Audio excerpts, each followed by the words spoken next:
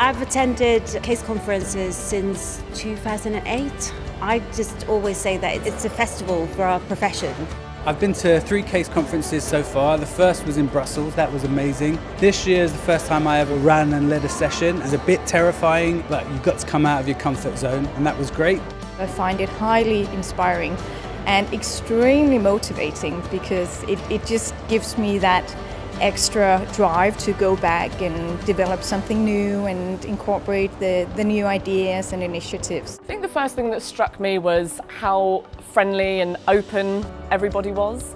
Everybody was uh, very up for networking, meeting new people, sharing best practice from their institution and sharing ideas. I come to CASE conferences as a good chance to refresh my own skill set within my profession. It's really valuable to meet fellow professionals at the cutting edge of their field, to learn about new ways of doing things and to invigorate my own understanding of what it means to be a fundraiser and to work in this wonderful sector. I find the CASE conference a really stimulating and energising way to spend a week.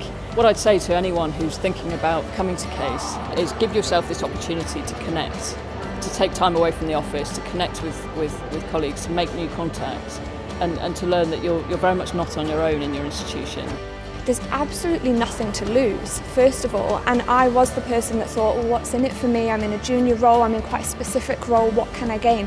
So much. The people who come to CASE all want to help you and the training and the programs are really diligently put together. So you have to go for it. One of the things that I'm really keen on this year is to take some of the sessions with a mindset around how I can then take that learning back and teach that to my team. I wouldn't be anywhere near as good a fundraiser without CASE. I wouldn't probably be in fundraising without CASE. So I would always recommend to somebody that they need to make as much as they possibly can of everything that CASE has to offer.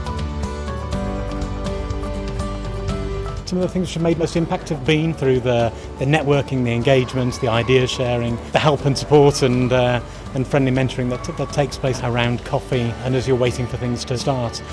And that I think is as legitimate as the formal education. One of the really good things about CASE is you go and you become really mindful about your sector again and why we're all doing the jobs that we're doing. And that's where I think you can get inspired, re-energised and sort of maybe bring some issues to the table, challenges that you've been facing and people build you up again. And so I think it's a really sort of transformative experience.